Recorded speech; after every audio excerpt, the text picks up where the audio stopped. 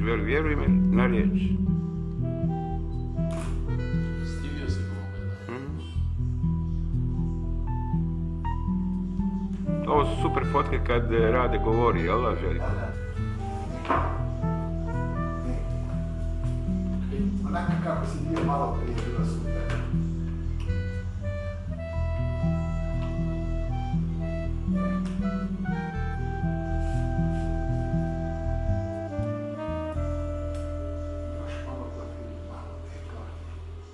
No. E stavi a letto? Ima, ima dva glisera i, i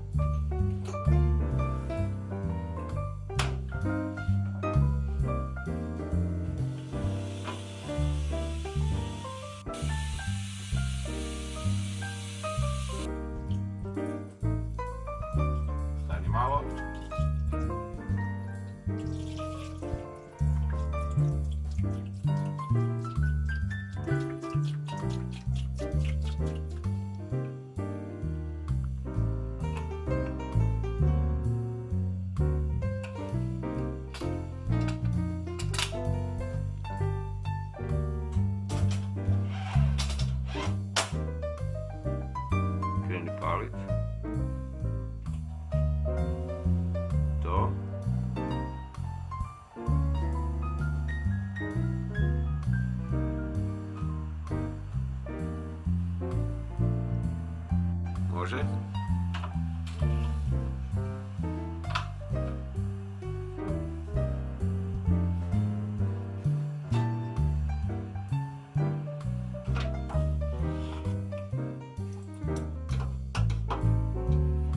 Valjaj kadicu, valjaj kadicu.